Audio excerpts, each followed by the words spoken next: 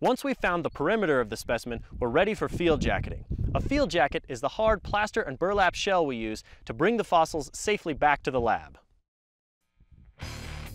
We start by pedestaling the specimen and giving it a nice undercut all the way around the edge of it. This is so that we can put a nice strong lip of plaster and burlap around it that will hold it together when we flip it over later. We put a layer of tinfoil over top any of the exposed bones. This keeps the plaster from bonding to the bones, but allows the plaster to bond to the exposed rock. We take strips of burlap, soak them in plaster, and wrap them around the entire pedestaled specimen. Once the plaster hardens, it creates a nice, heavy-duty shell that'll protect the fossil on its trip home.